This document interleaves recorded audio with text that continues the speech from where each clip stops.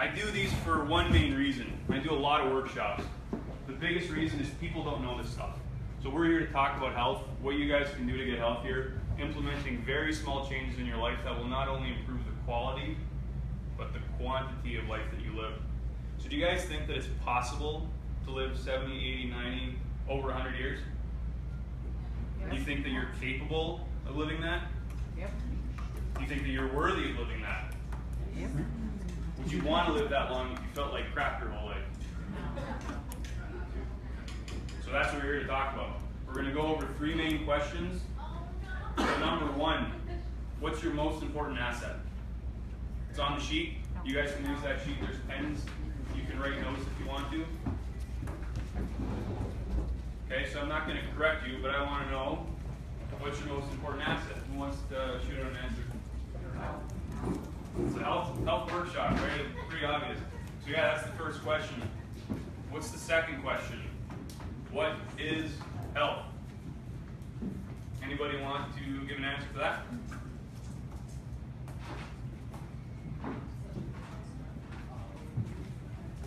So do you guys think health is how you look?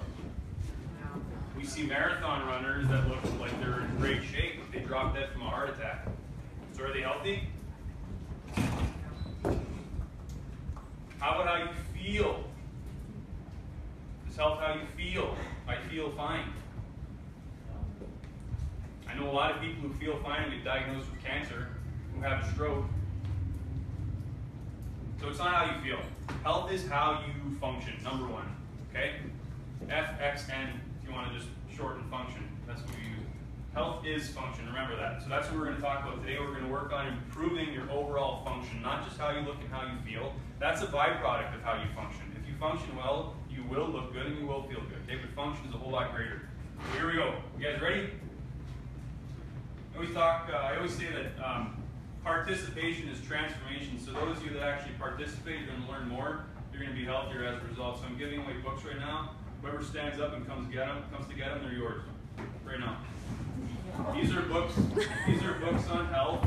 I've actually I have stories in here that are written by patients in our own office. I can't. I'm not going to run here, here, here, here, here, here I have more. I'll give you one. So those are just cool little stories that we put together. They're, uh, they're chiropractic stories, and they're not uh, they're not about back pain, headaches, or neck pain. Okay, they're about a lot of things that people don't really know. They're about uh, people having improved improved immune function, uh, improved sleep, decrease in depression, decrease in anxiety. All these different things that people go, really? Chiropractic can do that? And it has nothing to do with chiropractic doing that. It's really how chiropractic improves the health of your body, and your body does the healing on its own. Okay? All right. So these are some of the stats. We're not going to go over these a whole lot because this is really boring, but this is how many people died from cancer last year. This number is going up every year, just so you guys know. I think it was 611,000 last year, the year before. Okay? So everybody thinks that, oh, sorry, that's heart disease. Heart disease was 611. Um, but everybody thinks with all the advancements in, in uh, medicine, all these surgeries, all these new medications, etc., that we're getting healthier. We are getting sicker by the day. You guys know how much we spend on heart disease every single day? Take a guess. Who wants to guess? You'll see the slide after. A half a billion. What'd you say? Half a billion. Close. But not really. Okay, so cancer, you know, 600,000 people, blah, blah, blah. Diabetes, 76,000 people every single year are dying from this. And it's going up. And it's not as easy as just taking a pill and everything will be fine. It does not work like that. That's what they have you convinced to believe because you watch these commercials now and like you see people running through the field like this, right? They're all happy and there's nice music. It's like, oh, take this drug, your life will be so much better. Side effects may include death, uh, you know, diarrhea, uh, increase for uh, suicide, blah blah blah. And you're like, wait a minute. Jeff Foxworthy does a, a brilliant skit on that comedian, right? Um, and he talks about how he has itchy, watery eyes. That's it. And he's going to take this pill, and it, he goes on the to talk about the list of side effects. He's like, wait a minute, these are just way worse than the actual symptom I'm having now. Why would I take this pill? So YouTube if you get a chance. It's long, so I couldn't play it, but Seven out of ten deaths from chronic diseases. Chronic diseases are, are diseases that are actually preventable. Okay? Diseases of lifestyle, heart disease, cancer, stroke, diabetes. Just because your parents had that doesn't mean that you're doomed to have that. How many people believe that? You believe that you won't have that? I, I, I believe I don't, it, it's not a hard fact that I will have. Okay, good. Okay, good. Yeah. How many people believe that just because your parents had it, you'll probably get it? You're told to believe that, right? Because you have the gene. Now, genetics are they're important to a certain degree, but now you guys heard of epigenetics? Epigenetics is a new study that's showing that just because you have a gene doesn't mean that gene is going to turn on and cause disease, like breast cancer. You have the breast cancer gene, you know, it's not that scary. So epigenetics talks about how the environment that you soak your body in will affect genetic expression. So that might sound complicated, but you guys know what stem cells are. Stem cells are neutral cells, okay? It's just a cell, it's not a bone, it's not a muscle, it's not an eye, it's just a base cell for your body. You can take a stem cell, and depending on which environment you place the stem cell in, that stem cell might decide to become a bone cell, whatever, a muscle cell, a hair cell, etc. They have the exact same genes, but they become something different. So now the environment that you place your genes in, which is your stress level, how you exercise, how you think, all the chemicals you put in your body, your you know sleep, etc. That's what's going to affect your your genetic expression. That's what will cause cancer, stroke, diabetes, arthritis, XYZ. Yeah, the average person is on nine medications in the country. Pretty scary. We take 70% of the world's drugs and we're only 5% of the world's population. Also scary. Here's what we spend per day on heart disease. So you were close. It's half a trillion dollars per day. Yeah. You said half a billion. That's more than most people think, but half a trillion dollars on heart disease per day. Going up. Going up. So why don't we change? Answers. People, why don't we change? Why is it that we see these stats going up, we know we're sick, and we still don't do anything about it? Lazy. Yes. Yeah. Yeah? You're stuck in your own ways. There's no there's no urgency because we base our we think that our health is based on how we look and how we feel, and if we look and feel fine, then we think we're fine. That's why we don't change. So what is stress? Here's another one. Answers. What is stress? Kids.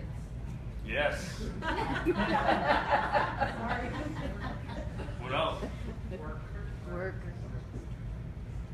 Money, family, job are the top three stressors in the country. And um, there's the here's a few more. So here's the uh, the one thing with stress is your body reacts the exact same way to every single stress out there. It doesn't matter if it's a mental or an emotional stress, or if it's a physical stress or a chemical stress. It's all the same. Your body reacts the exact same way. And we're gonna get into that a little bit. So mental, emotional. This is a this is a big thing. Whenever you say, "Oh, you're stressed," people go, "Well, I don't feel stressed," right? Because you think that this is this is the stress part, but it's the whole body. So there's all these things in the media you see that make you feel like you're insignificant, and you're not pretty enough, and you're not tall enough, or whatever it is. I mean, that you're just bombarded with that. I think you're exposed to. I can't remember what it is. I think it's like 23,000 advertisements per day, and you, you absorb like 200 of them. Don't quote me on that, but it's something like ridiculous.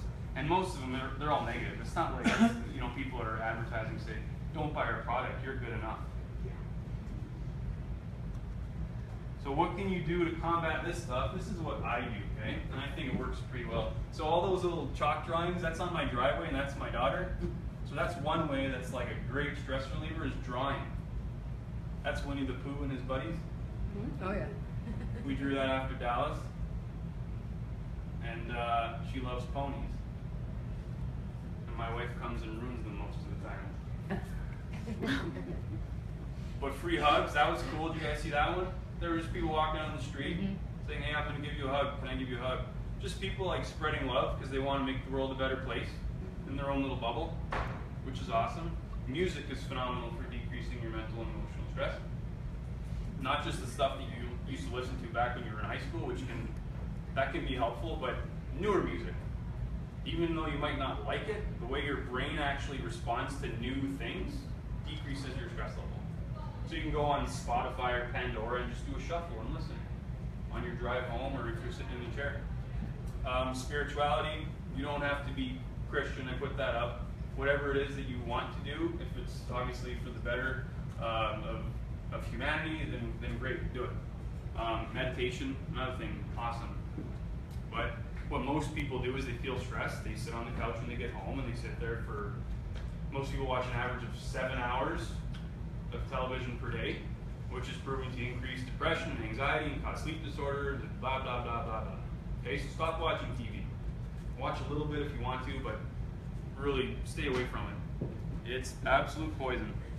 Okay, food, always a big topic of conversation. This is a tough one because you are hardwired, literally neurologically hardwired to acquire as much calories as you possibly can, especially when you're under stress. Basically, your body goes into this state where it says, oh, I don't know how much I'm going to find here, so I better get it now before it's too late and other people take it. And that's why when people are under stress, it's easy to go through a drive-through. It's easy to order pizza. It's easy to order whatever it is that's quick, that's full of sugar, full of salt, no nutritional value whatsoever, and just makes you sick. Um, but really, I mean, two-thirds of people now are overweight or obese. Well, two-thirds are overweight, one-third are obese now. And really, I mean, people don't eat food anymore. They eat empty calories, essentially. Just sugar, just carbs.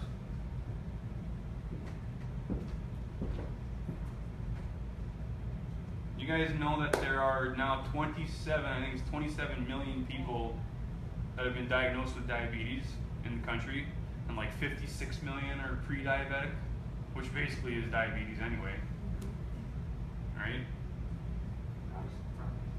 When people, I never like that term pre-diabetics. Like you either are or you're not. Like, oh, your sugar levels are unstable. You're pre-diabetic. No, you're diabetic. And people think it's just as easy. I can stick my finger, I can do whatever, and diabetes is all gone. But it's not. Diabetes will kill you. People lose limbs. I mean, all the time. And uh, it hardens your arteries, which leads to heart disease, and all of your organs need that blood. So if they're not getting it, it's going to lead to an increased, increased risk for other diseases. But let's talk about some of this. So some of the food myths. Red meat causes heart disease. Not true. Fish is a healthier meat. Not true. Calcium for bones. Nah, not really true. Cholesterol is bad. Not true. Fat makes you fat. Not true. Who's stunned right now? they already know this stuff. They're they're vets, like I said, seasoned vets. so red meat. This is why they tell you it causes heart disease. What do they feed cows? Corn. Should cows eat corn? No. No. What should cows eat? Grass. Exactly. So cows that are fed high corn diets, corn is an omega-6, it's a grain. They end up having a lot of omega-6s in their meat. Omega-6 is extremely inflammatory, so if, you, if you're eating a product that's loaded with omega-6, it inflames you and you get sick. And Americans are just, I mean, we eat a lot of red meat in general more than the rest of the world, so that's why the rate of heart disease is higher. But if you eat beef that's grass fed, low omega 6, high omega 3, no heart disease. Fish.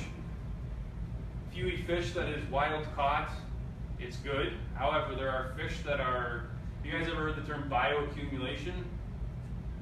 So large fish eat a lot of small fish, right? Like sharks, for example. So all the small fish have a little bit of mercury in them. That's the big scare with fish, especially in the ocean. But if you're a large fish and you eat a lot of little fish, mercury content is higher. Another reason why they tell pregnant women not to eat tuna or shark or things like that when they're pregnant, very high mercury content, neurotoxic. Um, and then smaller fish, most of them just kind of graze on, they'll eat plankton, they'll feed off coral, and they'll do whatever, so they don't have any mercury in their system hardly at all. Um, so some fish is healthy, yes, very healthy. Some fish, not so healthy. Now I love tuna. I will, I will say that's like one of my guilty pleasures, so I do eat it once in a while. Um, but I definitely limit it. and let me just say that I'm not perfect, so don't think I'm, I'm telling you that I am. Okay, but I, I think everybody just needs to try to get closer to that. Calcium. Um, so calcium for bones, right? Everybody says take calcium, it'll build your bones up. You you think it makes any sense if I were to just sit here like this and did nothing all day, just watch TV for seven hours, like the average person does, and just kept pounding protein shakes? You Think I'd grow like muscles like Arnold? Why not? Not using them. So bone is exactly like muscle. Bone is dynamic, living tissue. Bone will remodel whenever you place excess stress on it. So tennis players that are right-handed always have a much larger humerus and bicep on the right side than the left. So that's the way to build bone. If you want to build bone, stop taking so much calcium. You need a little bit, but you get mean, more than enough calcium from greens most of the time. So stop taking calcium, and uh, one of the best things you can take actually to make bones strong is saturated fat. Animal fat. Cholesterol is bad. I have a big slide on that. Fat makes you fat. Not true. Um, I think I have a slide on that too. We'll go over that. So insulin brings your blood sugar down.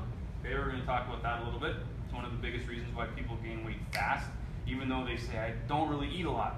I don't know why I'm gaining weight, or I don't know why I can't lose weight. It's really all about insulin. Um, so, you guys know what influences insulin the most? How it causes insulin to go like this, which is bad, by the way. Carbohydrates. Carbohydrates, yeah, especially refined carbohydrates. Things that everybody loves, your noodles, your breads, okay? Things that affect at least proteins. So if you're on a higher protein diet, very great for leveling off your, your insulin levels, and that's when you start seeing weight fall off. It doesn't even have to be a high protein diet, it can just be a, a more um, higher in protein, lower in carbs. Okay, so saturated fat is mainly an animal fat. So there's steak, there's butter, coconut oil is mainly saturated, and then um, eggs. But this is where, um, with fat and cholesterol, this is where people started saying it was bad. So like, now back in the 1930s, I believe it was, there was a couple Russian scientists that were doing um, experiments with fat in animals, and they were testing to see if it actually caused heart disease. They were using rabbits. They were injecting the rabbits with fat. The rabbits were dying from heart disease, and they said, conclusion, fat causes heart disease. Problem? Anybody? Rabbits weren't getting any exercise. Maybe. That's probably part of it. It says rabbits weren't getting any Where exercise. source came from. Rabbits are not genetically equipped to break down fat. They're vegans. We're not. You ever see rabbit eat an egg or a piece of meat? No. They don't do it. They don't have the genes to do it. They don't have the enzymes in their in their gut to digest it. So if you do the exact same experiment, you do it on a carnivore or even an omnivore like a human, no heart disease from food. Okay, from fat. As long as it's not trans fat. Trans fat's the bad one. So that's the other. There's a lot of studies that were done on fat, linking fat with heart disease, but really they were blaming saturated fat on heart disease when it was actually the trans fat causing heart disease. Do you guys know where trans fat comes from? Trans fat is when you overheat fats, especially unsaturated fats. So unsaturated fats are olive oil and well, I mean that's the main one. Avocado oil grapeseed oil and things, uh, safflower oil. But when you heat those up, they start breaking down and their chemical structure changes into a trans fat which will harden your arteries and kill you real quick. Even if you go to McDonald's or something, which you shouldn't, you're better off getting a burger than a thing of fries. But I love fries. I know you love fries. Cook them in peanut oil, not the bad oil. Everybody loves fries. I love fries. Cool. Questions so far? After? Okay. Am I going too fast? Okay.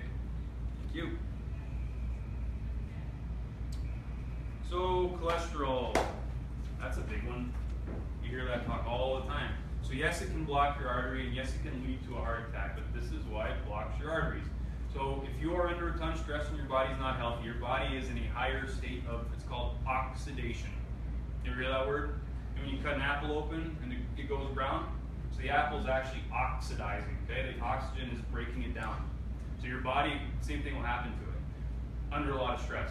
Even with your genes, they show that if you're under a lot of stress, your genes start to break down your, your telomeres and your DNA actually fall apart quicker. I know I'm using big words, but just believe me when I tell you that stress leads to oxidation, which leads to death really quick. So, under stress, your body goes through breakdown. Your liver starts to release cholesterol because cholesterol is something that helps heal tissue. If I cut my arm right now and I start bleeding, my cholesterol levels instantly go up. You know that? Instantly. Does it make any sense to lower my cholesterol levels to heal? Or so my arm, uh, I mean, That, that's the whole point of cholesterol going up. So whether it's a cut on my arm, or if it's heart disease, or if it's a stroke, whatever it is, cholesterol goes to the site of injury to help heal you quicker. Now, if you're under a ton of stress, and the stress never goes away, and the body keeps falling apart and breaking down on the inside, cholesterol keeps going up, and it keeps sticking to the wall of the artery to help heal, and it starts to oxidize, and cholesterol actually fluffs up when it oxidizes, plugs the artery, causes a heart attack, and then they go, hmm, take this pill for the rest of your life, and that's it. Now, in a state of, I don't want to say emergency, but certain cases, statin drugs can save somebody's life. But if you put somebody on a statin drug for a long period of time without addressing the cause of the problem, which is mainly just lifestyle, then this is the kind of stuff that becomes affected. Your vitamin D levels crash, which is why they tell you to take vitamin D when you're on a statin. Your bile, so your digestion will actually start to get affected because your bile salts, your bile salts aren't there anymore. Um, free radical damage, we talked about that. That's the oxidation thing. Your serotonin receptors, that's whenever you give somebody a hug or if you listen to a song you love or watch a movie and you laugh, serotonin goes up in your brain and that's what makes you feel so good. That's why you want to keep doing it. Breast milk is absolutely loaded, loaded, loaded, loaded with cholesterol. So just common sense. If cholesterol was bad, wouldn't babies just die left, right, and center? Yeah, of course, absolutely. so low cholesterol levels of that linked to depression, stroke, Alzheimer's, aggressive and violent behavior, and suicidal tendencies. So, um, was about 10 years ago where they actually changed the normal values of what cholesterol was, and the number of people that were on cholesterol medication went up three times, two and a half times. But it went from like 20 million to 68 million, I think it was, overnight, just because they changed the value of what was normal. So really, if you have high cholesterol levels, the first thing you need to do is not what, what pill should I take. You can take it if it's urgent, but it's, okay, I need to make a serious shift in my life because my body is just falling apart from, on the inside. This is just a slide that talks about how cholesterol levels are not influenced from your diet very much, very little actually. Okay? So obviously if you're on a toxic diet, that's stressful for your body. Cholesterol levels could potentially go up, but it's not necessarily the food causing that. It's the fact that your body is so stressed from the diet. Okay, we talked about Mythbusters. What am I supposed to eat? That's a funny slide. Can you guys see that? what am I supposed to eat? Uh, you can eat lots of great things. If you want this slide, I will email it to you, okay? It's just alternatives, what to eat, what not to eat. Toxins, found everywhere, probably found on the floor here, uh, probably blowing around in the air. There's toxins everywhere you can't avoid them. Doesn't matter how hard you try, especially in this country. There's pesticides all over the place, runs off from the crops into your own yard. Walking through downtown Chicago, you're breathing in smog, uh, lotions, soaps, air fresheners, etc. They are everywhere. Cool story with uh, toxicity and how it affects the body. We have uh, an office in Plainfield. Um, one of these, one of the staff members there was talking to you how, how she hadn't had a period in it was like three years, and then she started getting like just heavy, heavy periods, and it would not stop. So I started going through her whole history, and then we got to this topic of toxicity, and uh, she had air fresheners everywhere at her house, in the office, and as soon as we got rid of the air fresheners, everything was normal. It was that simple. Wow. Okay, so sometimes the answer is easy. But um, what else we have? Soaps. Soaps, if you mix with chlorinated water, not all of them, some of them, will actually produce dioxin in the water. Agent Orange. You know what that is, right? Do you know that? So there's some soaps now without uh, uh, triclosan, it's called. triclosan-free soaps don't produce the dioxin in the water. You'll see that. Any of this info that you guys forget, you can write it down. If you forget it, just email me or call me. Okay. Uh, BPA in uh, water bottles, also another extremely, extremely toxic chemical. But it's really uh, BPA leaches out of the plastic into the into the water, whatever it is you're drinking when it's heated up a lot faster. If you keep it in there for a long time, it'll leach too. But now they have something else, and it's supposed to be just as bad. So if you can, try to drink things out of a Corona bottle rather than, no, I'm kidding, a glass bottle rather than a plastic bottle. Um, so this is, uh, it's always like um, a little bit of a controversial thing, but these are just some of the toxins.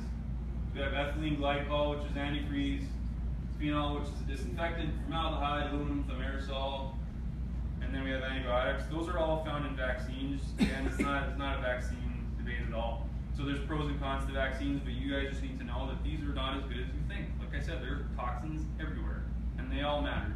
Everything matters. Just some of the symptoms that um, toxins lead to. Okay? The list goes on. I'm sure you guys have heard of all those. You could probably even circle some of those for yourself. Artificial sweeteners. Mainly. Sucralose is the new one that's supposed to be safe because there's no, not a lot of studies, I should say, it's not there's none, but there's not a lot of studies that are suggesting that sucralose is really harmful, but it's one of those things where just wait a couple years and you'll see. It'll probably be worse than aspartame. Exercise, we all know this is good for us, and we all know that we don't get enough. How much exercise do you guys think you need every single day? Or is it every single day? How much do you think you need per week? Twenty minutes a day. Okay, 20 minutes a day is good. Anybody else? 30 minutes three times a week. So all the uh, research is pointing closer to an hour a day is what you need. Not just, yeah, I know it's hard, right? You have to squeeze it in. But uh, I mean, the busiest people in the world exercise, and figure if they can exercise, I can too. Um, but the great thing with exercise is uh, not only is it great for muscles and blood flow and everything like that, but it's great for your nervous system and your brain. So your nervous system actually requires movement to stay healthy. Your brain requires movement. That's the that's the best thing for even when you're developing as a baby. The more you move, you start crawling, you start walking, and that's when you start learning how to speak and you interpret speech and all these different things. Um, but there was a study done with just with depression. So they had a group that just did exercise, group that took medication with exercise, and a group that did just medication. Which group do you think had the least amount of depression? Exercise only. So the whole point of an antidepressant actually it's supposed to have an effect exactly like exercise would on your brain. It's supposed to stimulate parts of your brain to make you feel less depressed, and all you have to do is move. Now, of course, you guys are hearing me say like meds are bad, right? That's what you're hearing. I'm not saying that. I'm saying that medication is not always the answer. Fine exercise. That's a good question. So, great question. So I hear this a lot when, when I ask people like, well, do you exercise? They go, well, I have, I'm a laborer, I work a lot. Okay, fine. If I walk every single day for 60 days straight, you think on day 61 that walk is going to be challenging for me? Probably not so much. So what do I have to do? You have to constantly, constantly increase the intensity to make itself challenging and stressful to a certain degree. You have to make yourself sweat. You have to increase your heart rate. You have to increase your respiration rate. That's def- that's the definition of exercise. So even though you have a physical job, I have a physical job, I still have to do it. Because if I don't, I mean, I just kind of stay at that level, and then over time, it starts to decline. So really, I mean, you're either going up or you're going down. There's really no, this was Jack LaLanne at 71. You've heard me tell this joke like five or six times probably, right? But I could never let this go because it was like the coolest thing ever. So I met Jack when he was 93 in Vegas and healthy as a horse. And so I just asked him, like, I need a secret. Tell me. I had like 30 seconds to talk to him, not even. Give me one secret. He goes, I have sex almost every day. I go, really? That's the secret? He goes, Almost on Monday, almost on Tuesday, almost on Wednesday. Okay, so great sense of humor. And uh, yeah, awesome guy. That's my baby. How much sleep do you think you need? Yeah. Yes, yes. Seven to nine hours is what research shows. How many people in here sleep less than five? Yeah, I'm always on Lindsay. Why you sleep less than five? Okay, stressful situation. And for the other, for the rest of the people, why do you sleep less than five? Because you can't sleep. Right. Most people, I can't fall asleep or I can't stay asleep. So usually there are there's issues there. But you definitely need more. So now we're going to talk about the nervous system.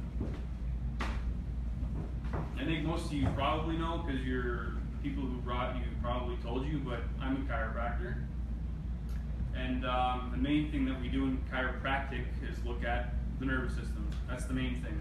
When we look at the spine, we want to make sure that everything is aligned. So when I look at you from the side, we want to see a curve in the neck, we want to see a curve in the mid back, and we want to see another curve in the lower back.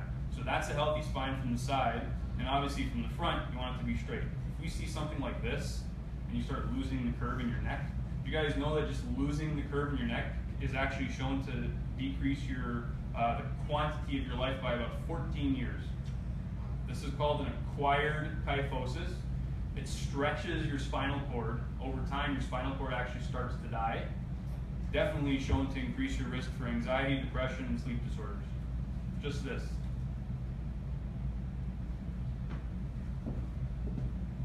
That chart is up there. Some of the first things that I said was chiropractic is not about back pain. That's what those books are all about. This chart actually shows the relationship between your spine and your body. So another question, what's the, uh, we talked, question number two was, uh, what was question number two? What is health, right? Function. Yeah. What controls your function? Question number three. Your brain. You got. You get like an E plus today, my friend. But your brain, so your brain goes down your spine as the spinal cord, and then it exits through the nerves, and it goes to every single cell, organ, tissue, system of your body. Your immune system, your metabolism, your blood pressure, your cholesterol levels, your digestion, you name it, it's controlled by your nervous system. Now, what happens if we put pressure on the nervous system? Anybody? Like a roadblock. Yeah, exactly. It's like a roadblock. A plus plus now. So back to this. Now this is what this is called, okay? So once your spine gets all crooked, it goes out of alignment, it pinches the nerves in the spinal cord. The proper term for this is a chiropractic subluxation. Okay? It means a displaced joint causes pressure on the nervous system, ends up affecting your health in some way. The term is actually pretty neat. Sub means less than. Lux means light. So less than light, right? So I mean, the way I look at it is it's almost like a dimmer switch. When you get a subluxation in your spine, it's turning down the power that's coming from your brain going out to your body. And we have cases like this all the time where once we start making corrections to the spine, blood pressure regulates, digestion improves, breathing improves. We've had people with COPD and ulcerative colitis, and you name it, people have gotten great results just from this.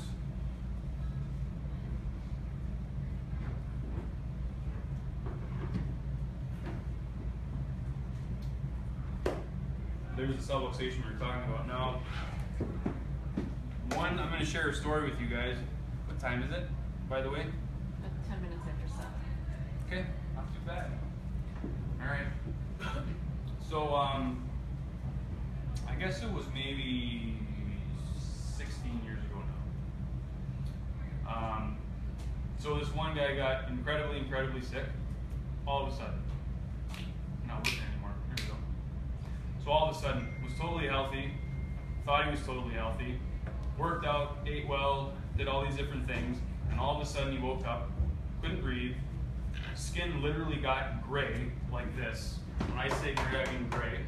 Couldn't walk up a flight of stairs. Basically had to take Ventolin all day long, every single day. Saw a bunch of specialists, was diagnosed with pulmonary hypertension.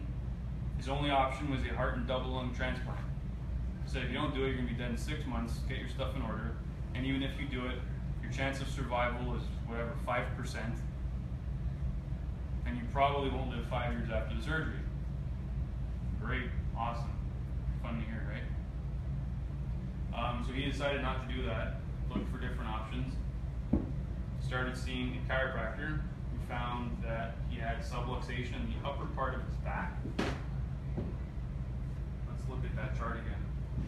I said heart and lungs, right? Heart and lung transplant. He had subluxation in the upper part of his back. So these are nerves that are going through the heart and the lungs. He had zero back pain. None. Absolutely zero. But he had heart and lung issues. So after he saw the chiropractor, they did the corrective care plan, they corrected his subluxations, he went back to see a specialist, was retested for everything, and everything was normal, and they were scratching their heads, and they said, we've never seen this with anybody with your condition, what did you do? So, well, I saw a chiropractor. And he said, okay. And so they talked in the office, the specialist's office, for two hours with the doctor. How often do you think most people get to spend two hours with a specialist? Maybe that's why you have to wait six hours for your appointment sometimes. But two hours, and at the end of the conversation, the specialist basically just said, maybe. I don't know. We don't know anything about it.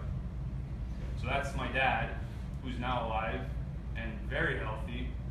Um, and they now, he went to uh, Cleveland Clinic and they wanted to do research with this. Problem with that is most research is funded by pharmaceutical. So they can't get funding for it. Because there's no money in fixing that with, you know, some adjustments and getting people better. But yeah, I was um, I was in my early 20s when that happened, or just around 20 years old, I guess. And I can't even tell you like the difference that I saw all of a sudden. And I know there's people here. I know you guys have had friends or family members or whatever that have had similar experiences. Like they're, they're fine. I don't know what happened. I told you this story when you first came in. So that's why I do what I do. Um, you have a question? How does the, how does the chiropractor diagnose the subluxation? Like, Mainly with mainly with palpation, and that's the main is it we easy do it. to diagnose? If you're trained, yeah.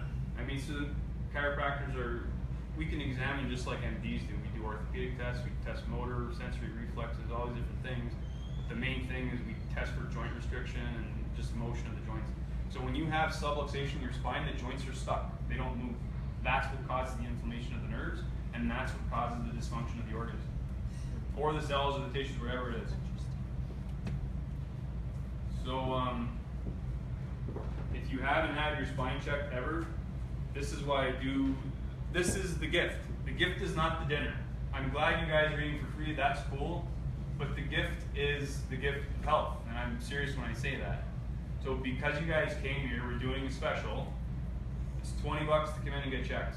That's it. When I leave, the offer leaves with me. So if you don't book today, and you decide to come in in a month, it goes back to a regular fee. Um, we decided to do something else today because we really want to start focusing more on getting kids checked because your first trauma is the birth process.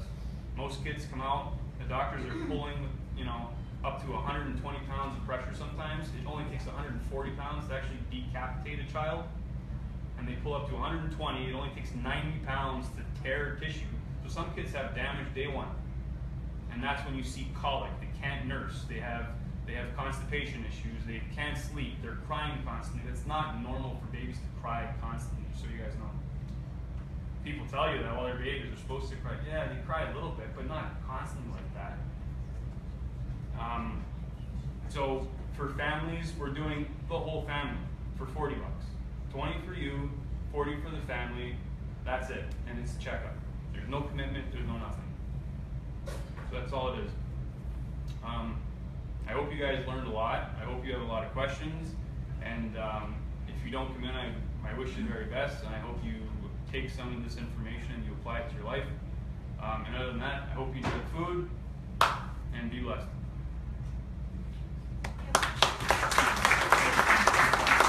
Question about, when you were talking about cholesterol, Mhm. does, um, plant proteins or just plants have cholesterol in them? They do? Mhm. Okay. Yeah. So that's my big question, but, um, it, I think that, that a lot of people here might not even realize that you can get your good cholesterols from, because it seemed like you were saying yay for cholesterol, because you need it during your stressful moments and. LDL is the one that oxidizes. Right. So that's Okay. your bad cholesterol. It's not bad. That's the one that goes up during times of stress, and that's the one that ends up oxidizing. So they're all good. They're all useful for something, but that's the one that causes the problem. Okay. Yeah. Are you a vegan? No, I'm not a vegan at all. Oh. No, I love meat. Oh, you- Yeah. Yeah. So, so just hearing that, you're bringing up that, the different, you know, good cholesterol, bad cholesterol. Uh, so what, the problem is when those get out of whack, then. And that's during stress, right? Is that what you were saying? Well, here's the other thing. So I'm going to bring this up really quick for you guys. So I'm a big believer that the body doesn't make mistakes. If my blood pressure goes up, it's going up because there's a requirement for it to go up. If my fever goes up, or if I get a fever, it's going up for a reason. I'm not just walking down the street and all of a sudden a fever spikes, right? What's the fever there for? Kill something. Why would I bring it down unless it's sometimes your body goes a little too aggressive at times, very seldomly though, and you can go into a little bit of a seizure. But most of the time you're fine. So whether it's a fever, whether it's blood pressure, whether it's cholesterol levels going out of whack or hormones going out of whack, the body's doing something. It's trying to adapt to a certain stressor. So even Hans Selye, you guys familiar with Hans Selye? So you basically talk about how the body tries, you go under stress, it tries to adapt, then you fail to adapt, and then you die. Once you lose the ability to adapt, that's when you die.